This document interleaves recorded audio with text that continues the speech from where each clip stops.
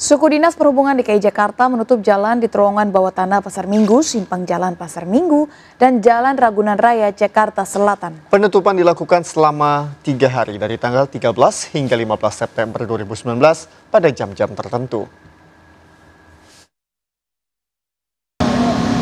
Guna mengejar target penyelesaian revitalisasi jembatan penyeberangan orang atau JPO Pasar Minggu, maka Suku Dinas Perhubungan DKI Jakarta melakukan penutupan jalan di bawah terowongan JPO Pasar Minggu.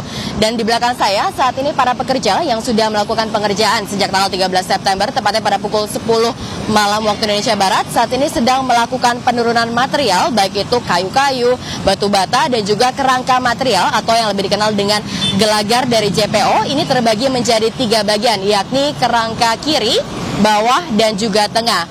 Kerangka ini sendiri rencananya diperkirakan akan selesai diturunkan pada pukul 2 dini hari dan usai semuanya diturunkan ini akan langsung diberikan batas ataupun median sehingga nantinya akan ada penutupan jalan dari arah Pancoran menuju ke Depok ini hanya dapat digunakan oleh satu lajur saja sementara dari arah sebaliknya ini dapat digunakan dua lajur. Namun besok ini merupakan pengerjaan utama dari pemasangan kerangka yang rencananya akan dimulai ataupun dilakukan pengelasan pada pukul 10 malam hingga dengan pukul 4 dini hari pada tanggal 15 September.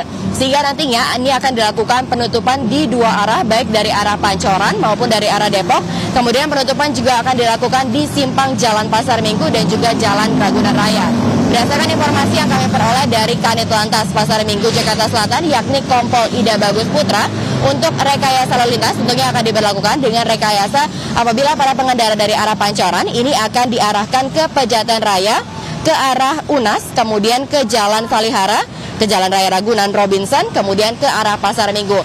Sementara dari arah Depok ini akan dilalui ke Pertanian 3 ataupun Simpang Gereja kemudian ke arah Ragunan Raya Pasar Minggu, Jalan Salihara, Unas, kemudian masuk ke Jalan Penjatan. Tentunya jembatan Pasar Minggu eh, ataupun JPO Pasar Minggu ini yang sempat ambruk pada bulan September 2016 karena diterjang hujan badai ini yang menewaskan sekitar empat orang. Ini ditargetkan akan selesai pada Desember 2019. Dari Jakarta, Linda Kautsiki, Ahmad Muharlin, iNews melaporkan.